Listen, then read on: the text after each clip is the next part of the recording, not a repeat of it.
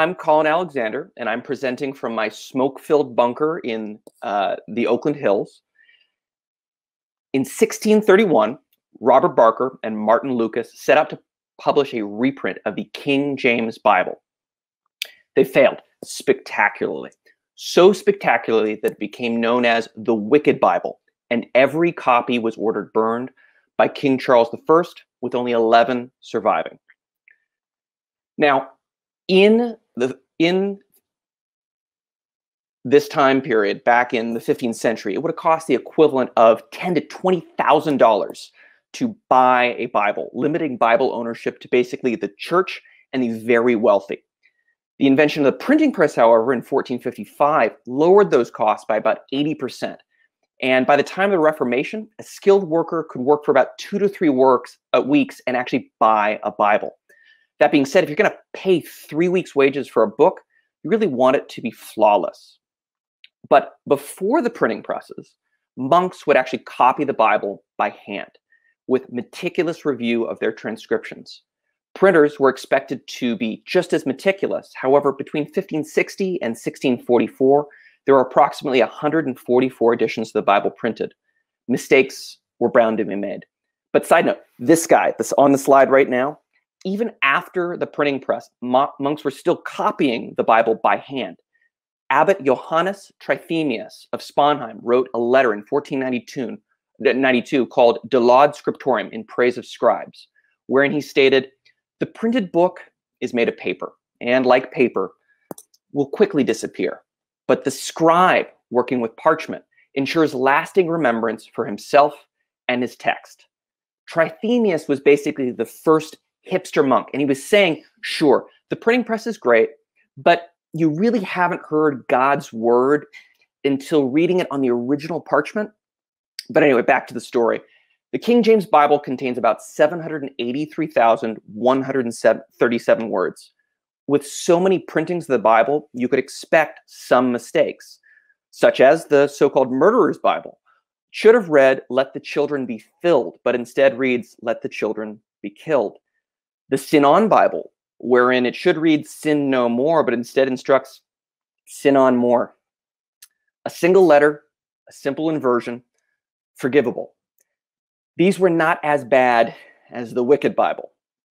It took a full year for Barker and Lucas's misprint to catch up with them, but when it did, they felt the full wrath of God. The most well known portion of the Bible is the Ten Commandments, which outline what we're not supposed to do murder, steal, covet, etc. The Wicked Bible contains an error of omission in the Ten Commandments, specifically in Exodus 20:14, wherein it should state, Thou shalt not commit adultery. Instead, it commands, Thou shalt commit adultery. This is not, however, my TED talk on my year of living biblically. This error alone was a disaster of biblical proportions. If it were the only error, the printers may have avoided the punishment that they received. However, in the King James Bible, Deuteronomy 5:24 states, "Behold, the Lord our God hath shewed us his glory and his greatness." The Wicked Bible of 1631, however, reads, "Behold, the Lord our God hath shewed us his glory and his great ass." The omission could have been forgiven, but com commenting on God's posterior did not appear to be a typographical error. This addition suggested that rather than a mistake, it was a deliberate error. Now, Charles I and the Archbishop of Canterbury were pissed. The publishers were called, if not dragged, to the Star Chamber, which is a court of limited due process rights and a lot of power. But, you know, maybe Charles I would show some mercy. Not so much. Uh, instead, the publishers were fined 300 pounds, uh, the equivalent of 50,000 pounds today, and deprived of their livelihood, their printing license. All copies of this Bible were ordered burned. Now, this mistake was a disaster for the editors. But what's even worse than having your life's work destroyed because of a simple typo? Deliberate sabotage. That's right you needed a printing license to print the Bible, which Robert Barker had.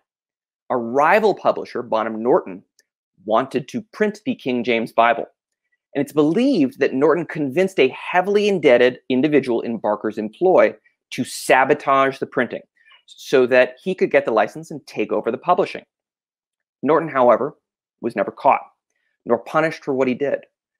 Barker, however, didn't just lose his printing license, he lost far more.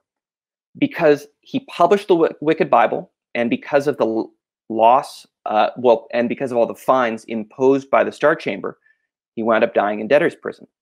Now, his work, however, lives on. And I, for one, suspect that if God's form does have a posterior, it's exquisite. So please raise a glass to editors and to publishers everywhere. May you catch all your errors, and if some are missed, may you at least avoid the wrath of God.